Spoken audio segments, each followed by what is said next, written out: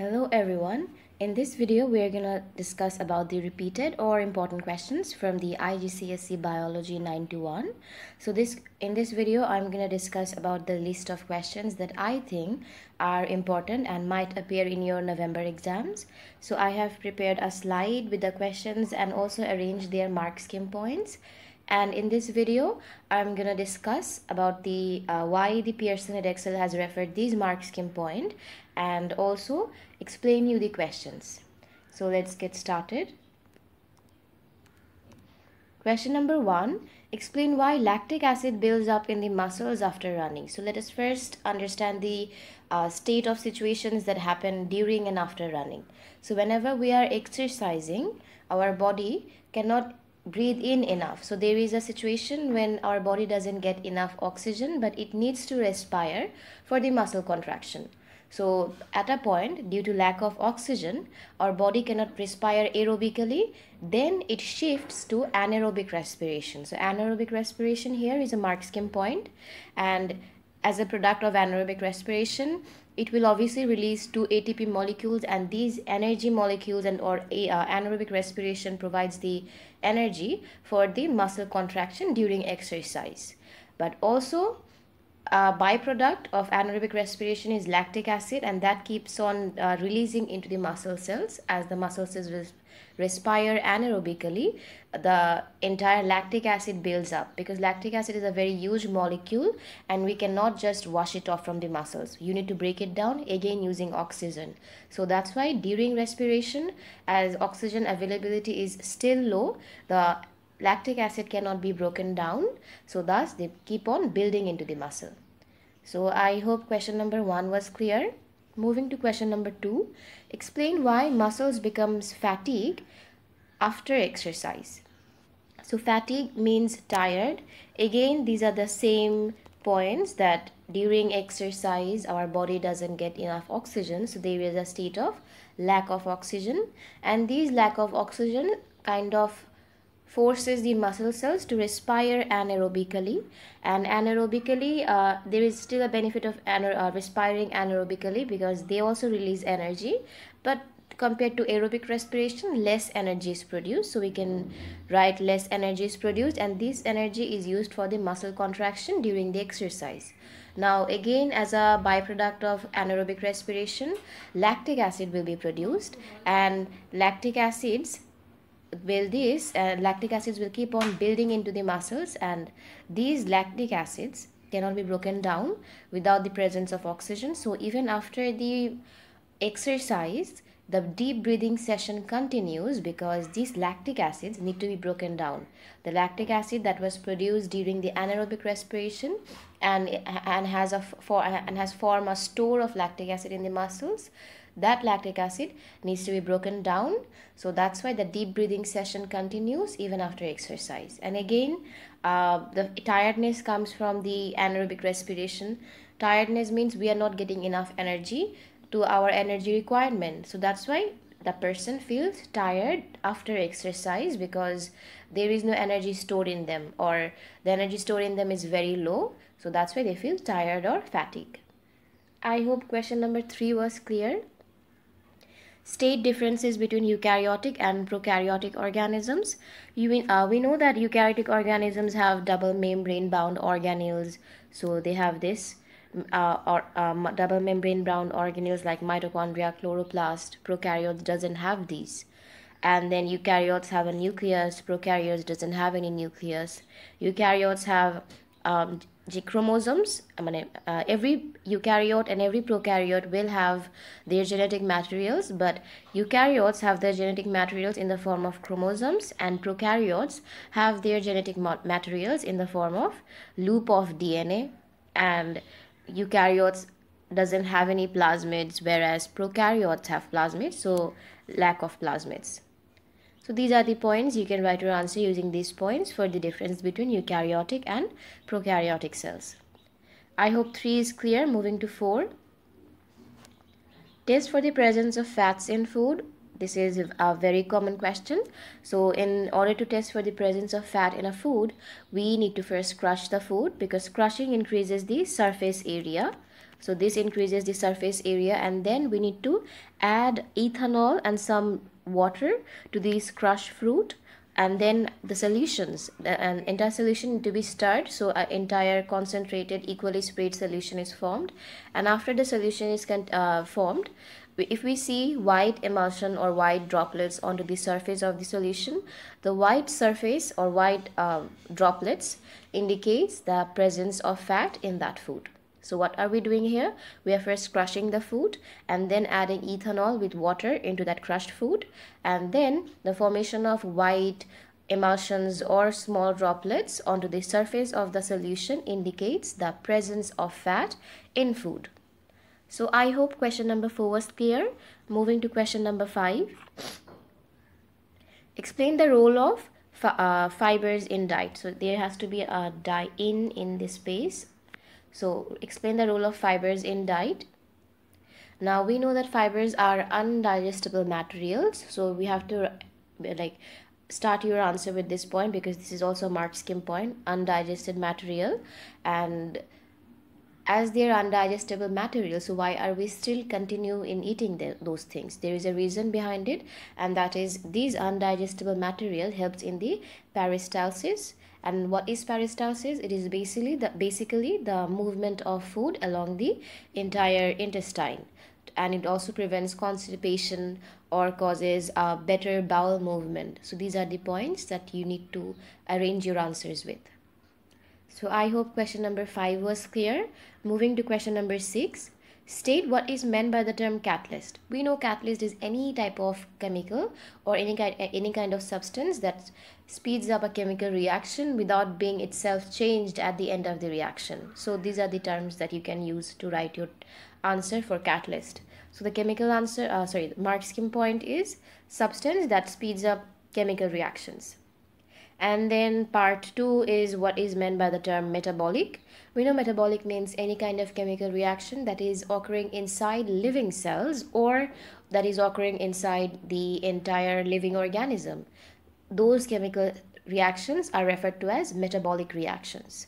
So this is a mark scheme point, chemical reactions or processes inside cells, cytoplasm, body or organism. So you can write your answer using these mark scheme points. Then moving to question number 7. Explain how increasing the temperature can result in an increase in plant growth. So um, like obviously how increasing a temperature can cause plant growth is basically that entire plant growth depends on one molecule that is starch and starch is made by photosynthesis. Now photosynthesis is a series of reactions that is controlled by multiple enzymes and enzymes will obviously have their optimum temperature where they would react at their maximum rate so whenever we are increasing the temperature, it indicates that we are providing higher energy for the enzymes. And due to this increase in temperature, enzymes reach their optimum temperature because they get increased or their kinetic energy increases because of this increase in temperature. And as enzymes are now in their optimum temperature, they will interact more or they will cause the rea they will entirely perform at their maximum rate. And when enzymes are performing at their maximum rate it indicates that they will produce they will photosynthesize more. The rate of photosynthesis will increase. And uh, if rate of photosynthesis increases it indicates more starch will be produced. And these starch are then used for the plant growth. I hope question number 7 was clear. Moving to question number 8 State the uses of nitrate and magnesium. We know nitrate is needed for the formation of amino acids, which are then needed for the formation of protein. And magnesium is needed for the formation of chloroplast, a green pigment that is found in the chlorophyll.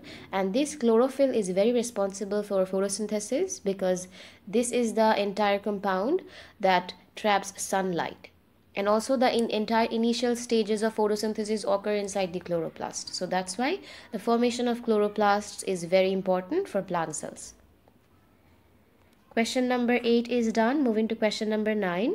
Discuss why some farmers limit the amount of chemical fertilizers they add to their crops. So the first thing, there, there are actually different reasons. There are multiple reasons behind this entire motive. So the first thing that comes to my mind is that obviously the eutrophication effect.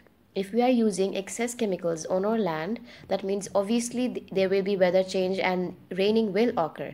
And whenever it rains the entire chemical fertilizers will leach off to the nearest rivers causing the eutrophication effect. Now the eutrophication effect is basically when the fertilizers leach off to the rivers. Fertilizers are very are chemicals that are rich in nitrates. Now when these nitrates move on to the rivers the river surface will have a algae bloom because algae grow at a higher rate if there is nitrate available. So as the nitrates leach off to the river. So the river nitrate concentration in river increases causing it a very making it a very suitable place for algae to grow. Now uh, as the entire surface of the algae is covered entire surface of the river is covered by algae the algae will respire using oxygen from the river thus reducing the oxygen concentration of river. So this is one point that entire uh, leaching occurs at uh, this point that washes into the nearest rivers and then causes of eutrophication which is basically algae blooming.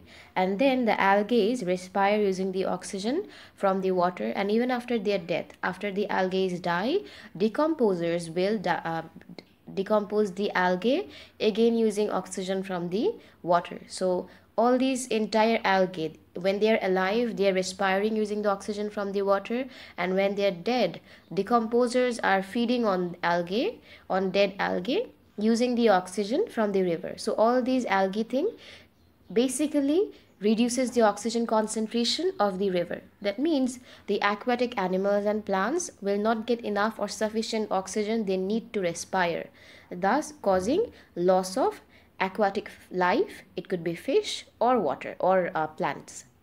So these are the one point or one uh, series that you can write your answer with that entire cause for eutrophication.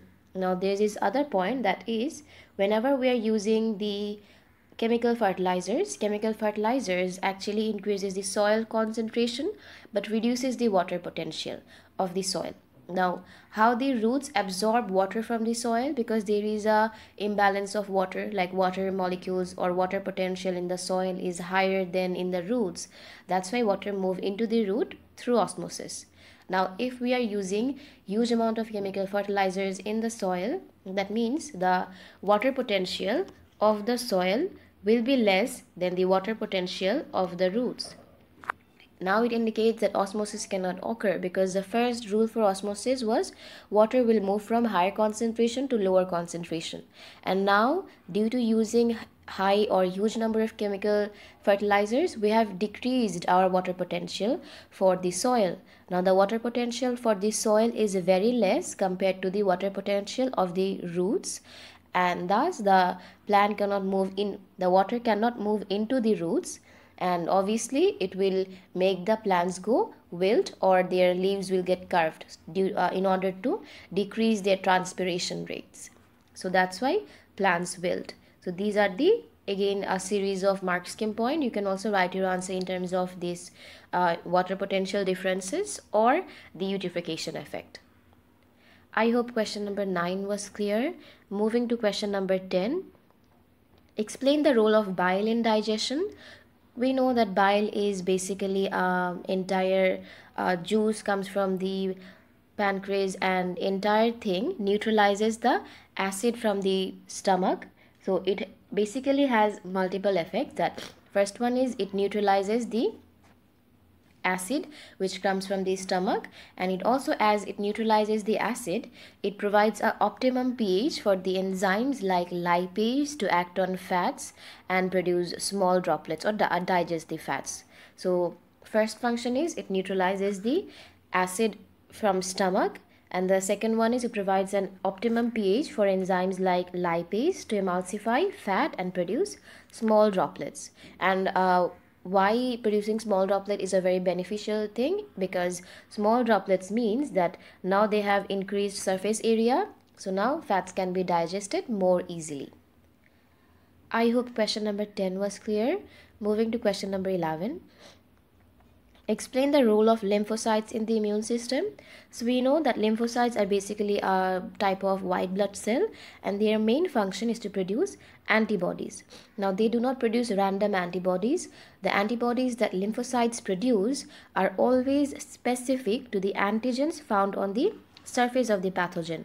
So what they do is the, they release antibodies and these antibodies then bind with the specific antigen on the surface of the pathogen and after the binding they keep on climbing the pathogens together like not climbing clumping the pathogens together and this clumping destroys the entire pathogen. Now in this way they protect the body from the primary attack and again if this same kind of pathogen attacks your body for the second time they also create memory cells for that. Memory cells remember the type of antibodies that is needed to uh, kill these kind of pathogens. So whenever these pathogens enter your body for the second time the memory cells come in actions and produce antibodies to kill those bacteria then. So the entire these lymphocytes produce memory cell which causes the entire secondary response to be very fast and effective so these are the entire points for lymphocytes and how they are uh, how they play a role in the entire immune response i hope question number 11 was clear moving to question number 12 Explain what happens to the bacteria after they have been ingested by phagocytes. So ingested means here that it is engulfed. After the engulfing of phagocytes, what happens to the bacteria then? So let me draw a diagram. So here the entire phagos phagocyte and inside that there is a pathogen inside a vacuole. Now the entire vacuole containing the pathogen will be fused with another sac containing hydrolytic enzymes. Now these hydrolytic enzymes in the sac will move to the entire vacuole containing the pathogen and then this entire sac will fuse with the vacuole creating an opening. And through this opening the enzymes hydrolytic enzymes will enter the entire vacuole containing the pathogen. So then the hydrolytic enzymes like this you can write any uh, just enzyme or you can uh, write the name of the enzyme that is the hydrolytic enzyme. So these enzymes then kill the bacteria they kill the bacteria mostly by destroying or uh, digesting them breaking them down and after the digestion the final products are absorbed by the phagocyte so these are the series of actions that occur after the phagocyte has successfully engulfed the pathogen Moving to question number 13. Describe what happens to the structures in ovary after fertilization. We know after the entire fertilization process is done, the entire ovary will become the seed. The ovule wall will become the seed coat and the ovule becomes the seed itself. So these are the changes that occur after fertilization. Question number 14, describe the role of stomach. Now, stomach also have uh, this entire purpose of its own self. That is, it secretes hydrochloric acid. This hydrochloric acid has two functions. One, that it provides an optimum pH for enzymes like pepsin to digest amino acids or sorry, to digest protein and produce amino acid. The HCl also provides the, as they are at the end of the day, acid they will kill any kind of bacteria that was present in the food making it less uh, making it less chances that our entire digestive system will be um, attacked by any kind of bacteria because the entire HCl kills most of the bacteria that we engulf during uh, eating with our food. So its uh, entire stomach secretes HCl. HCl has two purposes.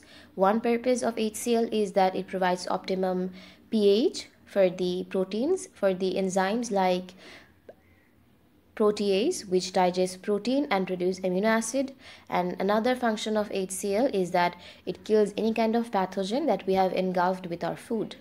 So with this question number 14 ends. Moving to question number 15. Explain how heart disease can affect a person's health. So uh, we need to relate all these things together that how including a heart disease causes the entire health disruption. So First, how heart disease actually develops. We need to start from the base. The main cause for heart disease is that formation of cholesterol or fatty deposit into the artery walls. Now this formation of fatty deposit or cholesterol on the artery walls indicates that the entire artery might get blocked due to this entire cholesterol or fat molecules. Now after this entire coronary artery is blocked, the heart muscles will not receive enough oxygen. And even though the heart muscles are myogenic they are at the end of the day muscle cells right? So they need to respire for which they need oxygen. And if the entire blood supply is blocked because of this formation of cholesterol and fatty acid that means the heart muscles cannot get enough oxygen. And due to lack of oxygen they cannot respire enough to produce enough energy for the muscle contraction for the heartbeats. Therefore, at a point, they will not respire at all and causing the heart to stop beating and that would lead to heart attacks or even death. So these are the series of changes that occur uh, or that causes the heart disease and how the heart disease the entire causes or, or affects a person's health. I hope question number 15 was clear. Moving to question number 16. Explain why gas exchange is possible at the alveolus. So these are basically the adaptations that why uh, the alveolus or how the alveolus is adapted for the entire gas exchange process.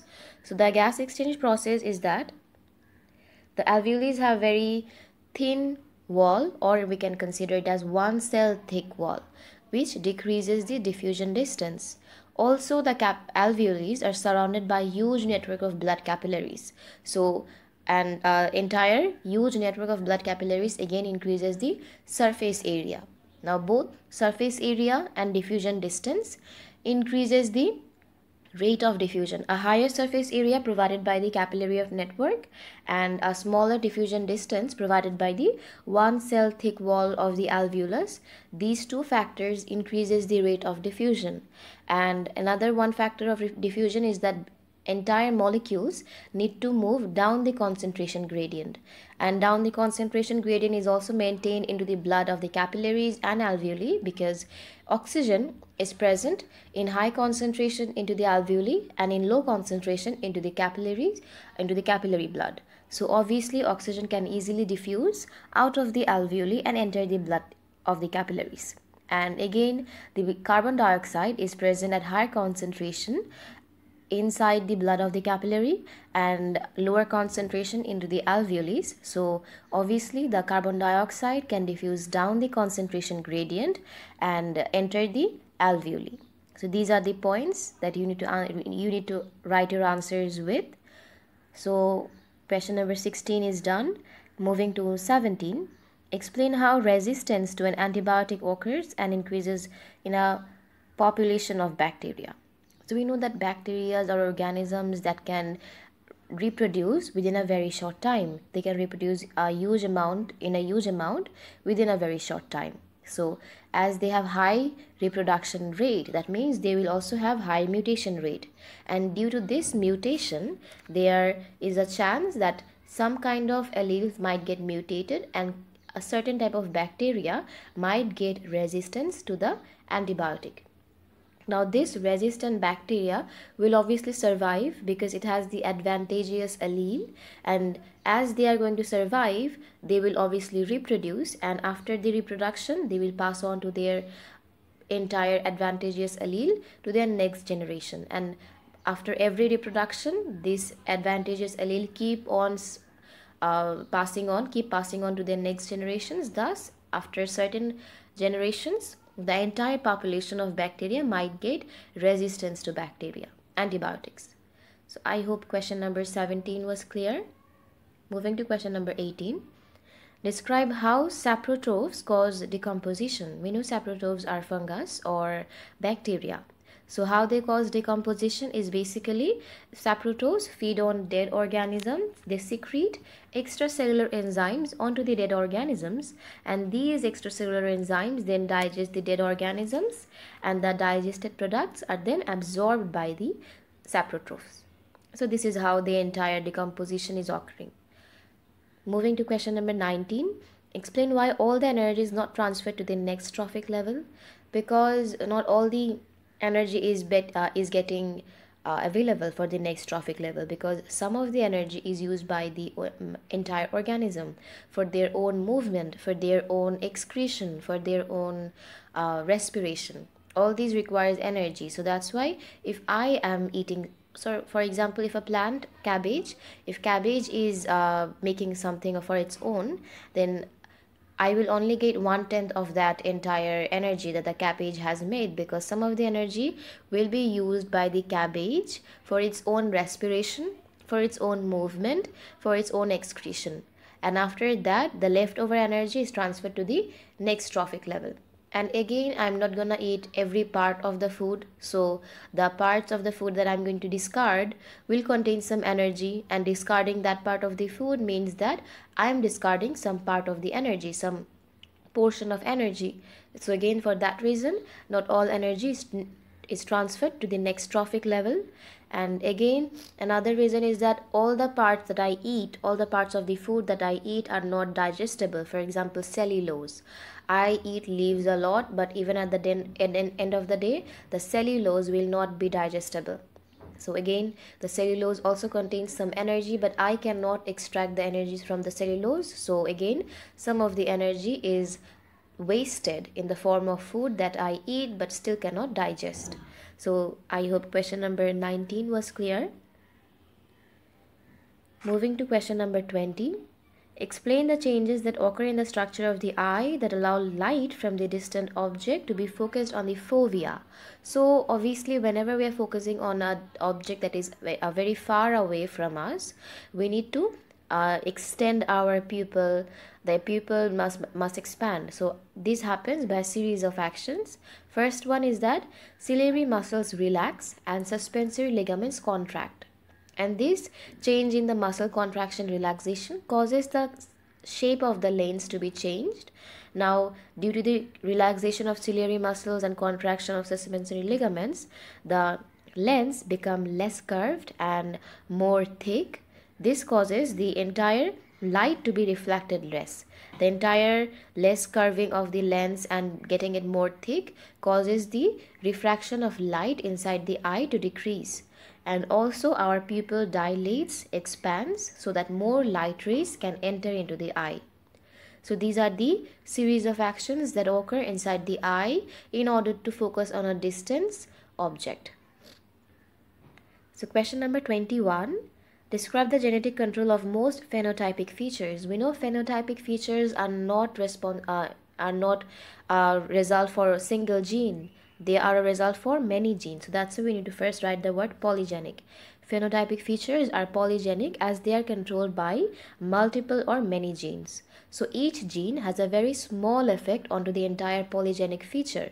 So every gene has a very small effect onto the entire polygenic feature. Question number 22. Explain how diets with less carbs and lipids can result in a reduction in body mass.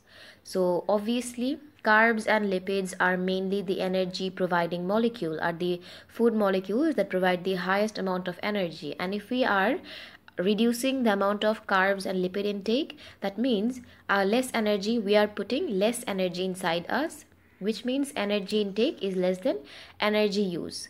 And as the energy intake is less than the energy requirement our body will indirectly find another way to meet for the energy sufficient requirement.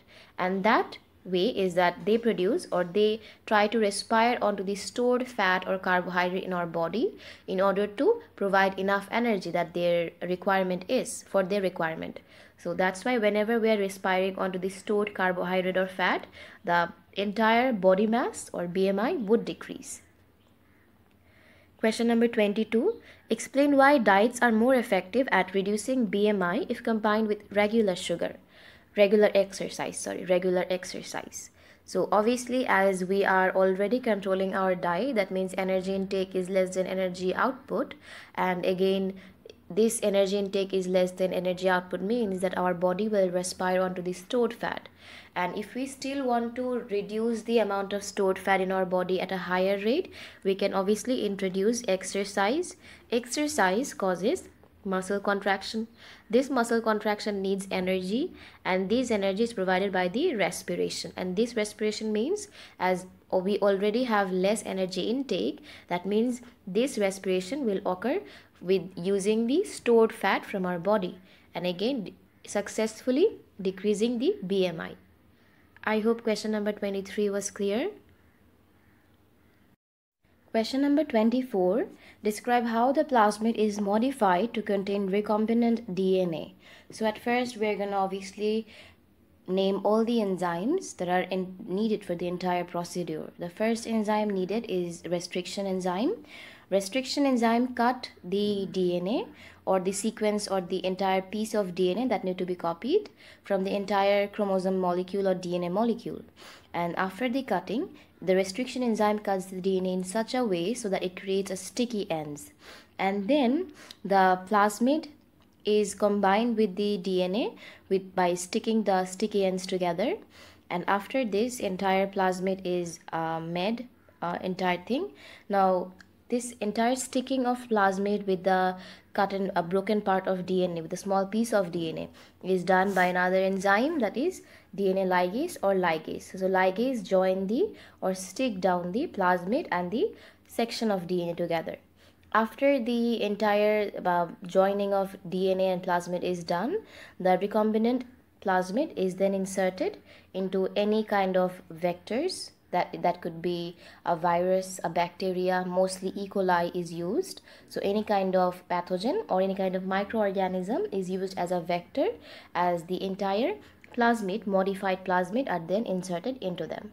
So this is how you can make recombinant dna question number 25 taste for proteins. We know the entire procedure that is we have to take a small sample of the food that we suspect have protein into a test, test tube. So we are first taking a small sample of the food into a test tube and then add Biuret reagent with it.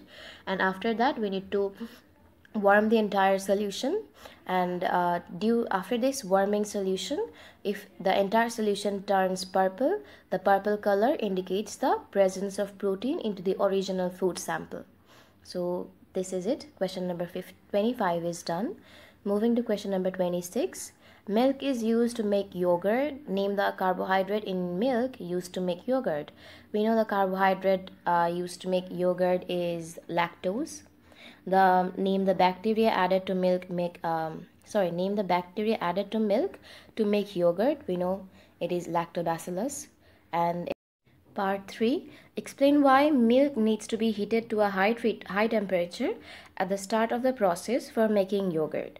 So the entire making yogurt part is that at first the milk need to be treated at high temperature so that at high temperature it kills all the type of pathogens that might be present inside the milk so in order to sterilize the milk as it kills all the bacteria present inside the milk now this killing the bacteria has two functions. First, there won't be any food poison after the yogurt is made because of this presence of unnecessary unwanted bacteria. And again, the other point is that these bacteria, if the other bacteria are killed, that means there will be less competition for our desired bacteria that is lactobacillus. So again, uh, it prevents uh, prevents competition for lactobacillus and sterilizes the milk uh, also causes also kills the bacteria that might cause food poison so these are the points for part 3 i hope it was clear enough.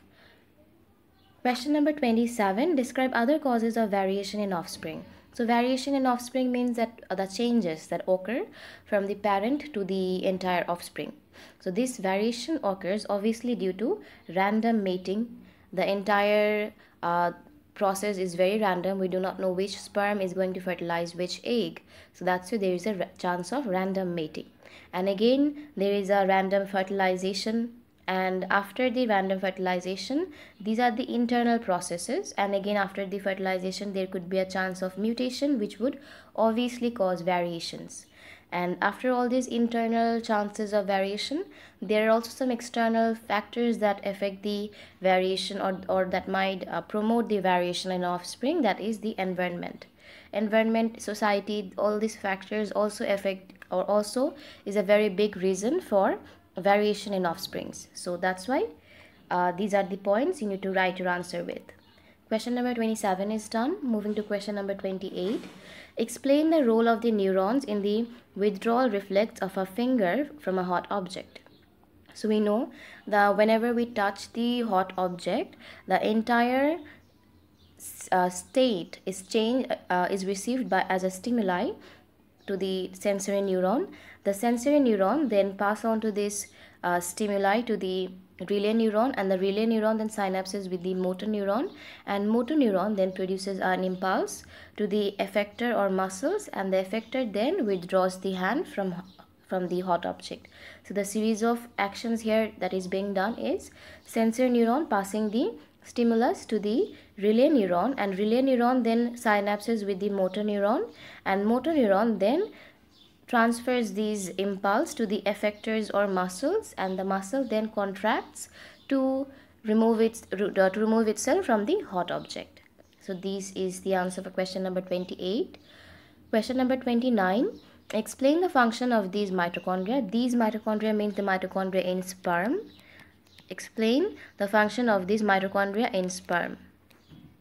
So the for the entire motive of mitochondria inside sperm is that mitochondria is a site for on which respiration occurs and respiration is a process that releases chemical that releases energy in the form of ATP molecules right? Now sperm is the only molecule that needs to move towards the egg in order in order to fertilization to occur.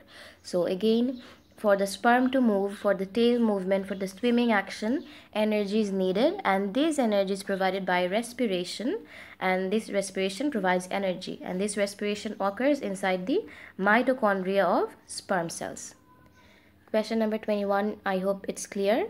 So 29, moving to 30, suggest the function of the acrosome so we know acrosome is basically a sac containing hydrolytic enzyme. So during fertilization, the acrosome first fuse with the egg cell membrane and then after fusing with the egg cell membrane, it creates an opening and this opening creates a pathway for the male nucleus to get transferred inside the egg and then fuse with the female nucleus.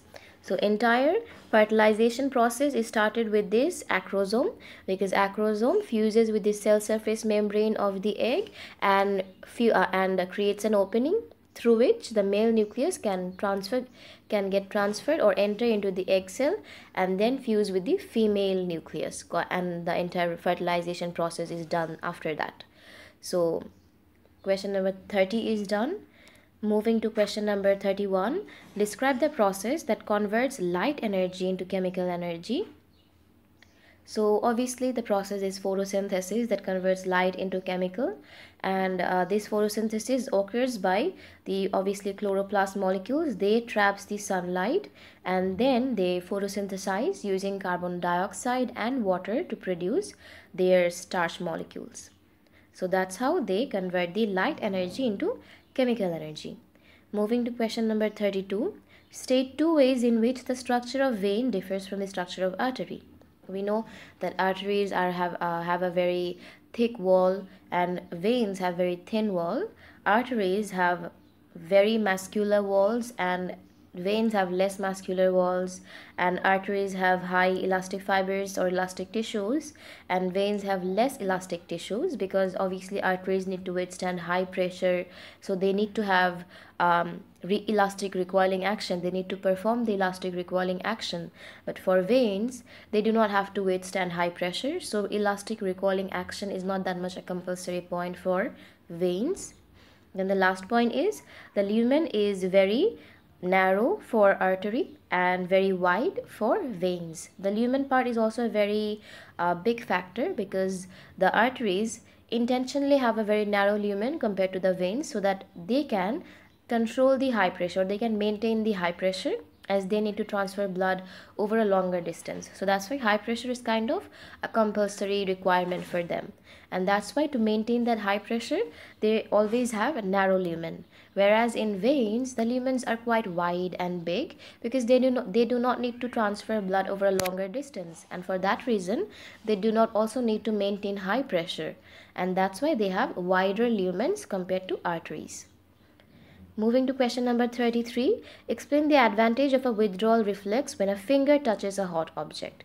So, advantages of withdrawal reflex means, means basically that in, of involuntary actions. Why involuntary actions are very advantageous? The first thing that it is very fast so doesn't cause cause much damage because without because uh, damaging requires time and we're not giving it that much time to cause damage that means entire fast process reduces the damage damage of damagement of that specific area so fast and causes less damage and hurt and again withdrawal of uh, withdrawal reflex is an involuntary action which means that we do not need to involve our brain for these simple actions.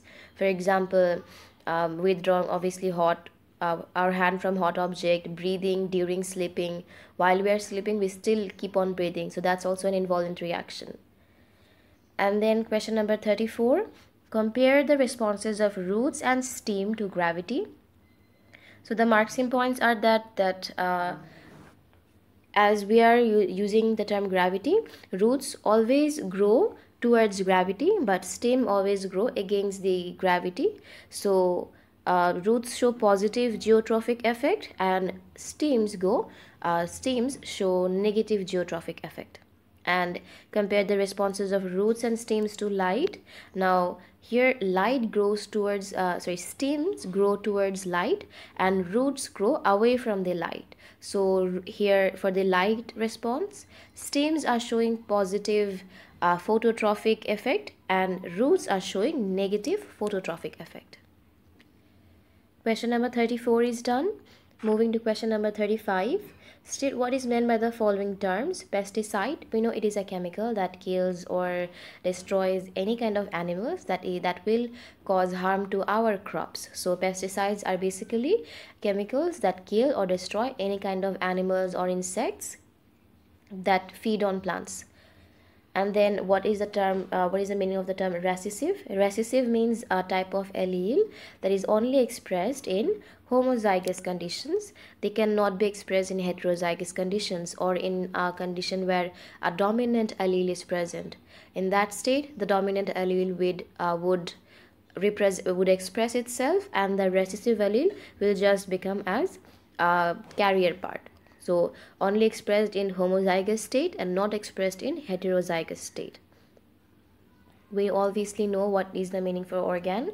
Organ is basically a group of tissues working together, right? A group of tissues performing one simple task is basically organ and then there's this term for transgenic transgenic means that um, we if we transfer gene if we transfer a specific gene from one species to another that means we are making a transgenic species. The species that receives the dna or uh, gene or allele from another species that species becomes transgenic.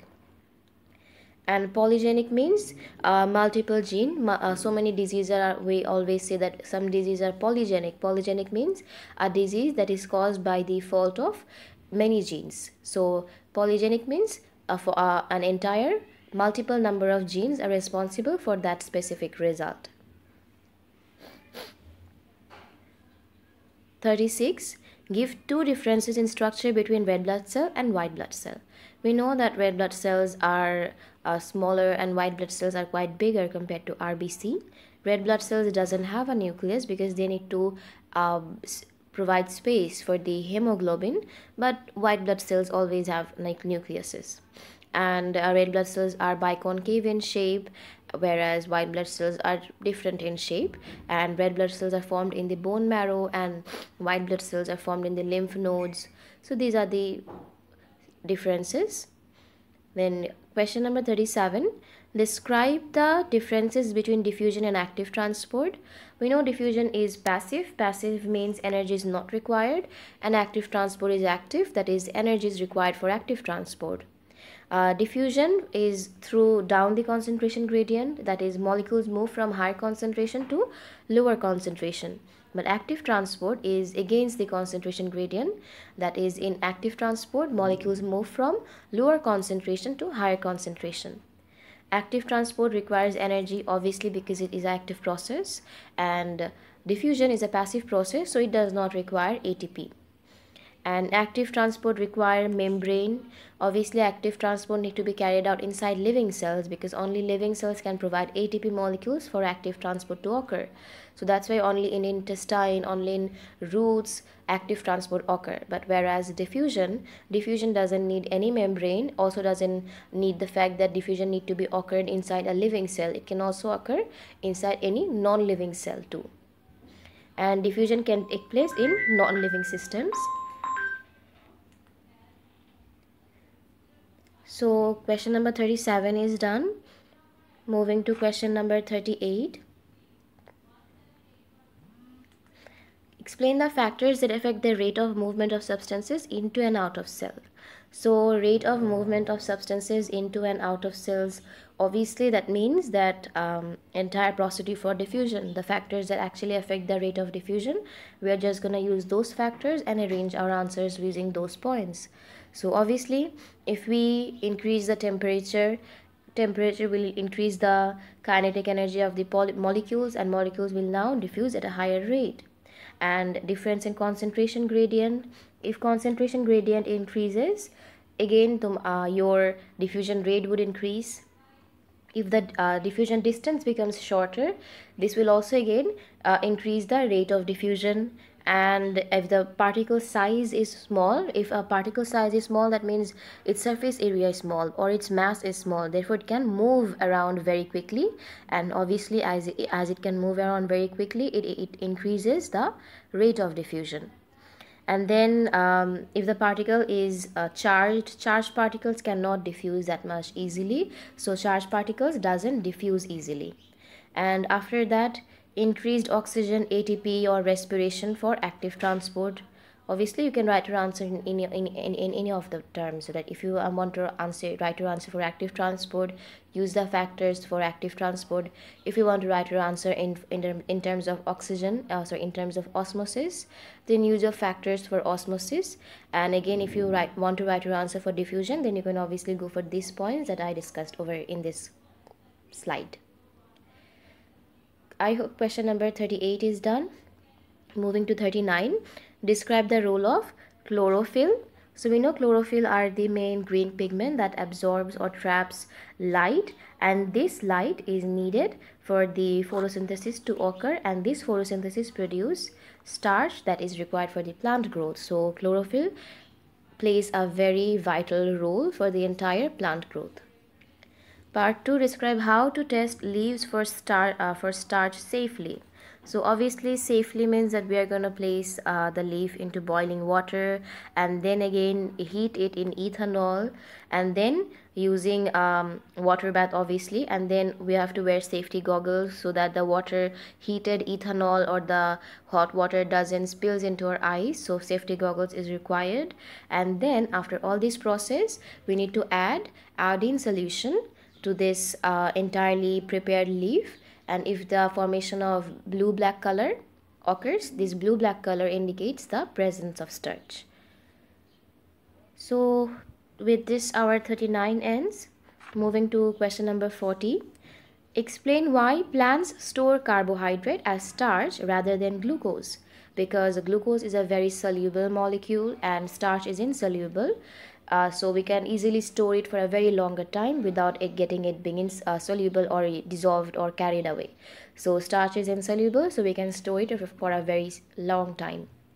And again as glucose is a very soluble molecule that means it will cause osmotic effect onto the cell. So glucose will cause or change osmotic effect but starch will not so that's why does not have any osmotic effect on the cell so question number 40 is done. Moving to 41 this uh this uh what? Difference between diploid uh, diploid and haploid. So the differences are that obviously diploid means that the entire cell will have 23 pairs of chromosome whereas haploid means that the cell will have only 23 chromosomes. Diploid cell contains 46 chromosomes. Haploid cells contains only 23 chromosomes, half of the chromosomes.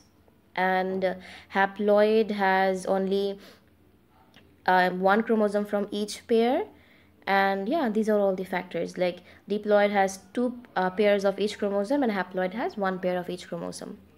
And question number 42 give the role of two named enzymes in the production of gm molecules. We know that the two enzymes are restriction enzyme and ligase enzyme restriction enzyme is that is needed to cut the dna at certain sections and ligase enzyme is needed to join the dna so these are the enzymes that are involved for the uh, gm organisms Question number 43. Describe the function of plasma in transporting named uh, substances in the body. So, obviously, it transports glucose from the intestine to the body cells. It transports amino acids from the uh, intestine ileum to the uh, required body cells. It transports fatty acids uh, to the required uh, cells for their entire protein uh, for entire function. They transport hormones from the endocrine glands to the site of action. Then urea is transported uh, around the entire body. Waste waste materials like carbon dioxide is transported. And to prevent infection the entire lymphocyte release antibodies into the blood and the blood then carries the antibodies to the site of infection and again uh, your plasma contains fibrinogen fibrinogen causes blood clotting to prevent excessive bleeding so these are the entire uh, functions that the plasma need to play for the transporting mechanism. I hope question number 43 was clear. Moving to question number 44. Explain the biological consequences of sewage pollution on a river ecosystem. So the entire biological consequences are that they are pathogenic. Obviously, pathogenic means that they will they, they will cause a spread of disease. Urea and everything uh, urea and urine contain nitrates and nitrate will obviously cause eutrophication effect algae bloom and again decrease in blood uh, water constant ox uh, water oxygen concentration leading to loss of aquatic life and plants. And then entire uh, decomposition decomposition will happen which will again release to uh, or cause to reduction in the oxygen concentration of the plant of the water level causing loss of aquatic life or plants.